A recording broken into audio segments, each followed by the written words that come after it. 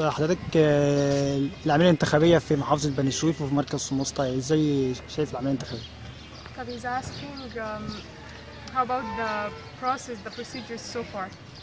Yeah, for the moment uh, the process is, is good.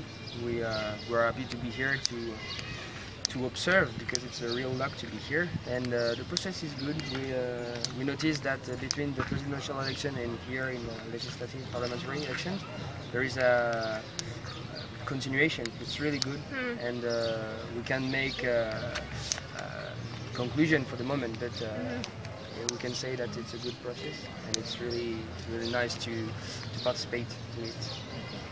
طيب هو بيقول إنه لحد دلوقتي العملية كويسة ومنظمة مقارنة يعني بالانتخابات اللي فاتت انتخابات الرئاسة اللي فاتت إنه في الموضوع في تقدم وأحسن وإن العملية مستمرة فنقدر نقول إن إحنا عندنا انتخابات منظمة كويس في محافظة زي بني سويف يعني آه والعملية ماشية كويس. يعني هي زي إيه؟ تطور كده لمرحلة لترتيب الانتخابات الرئاسية.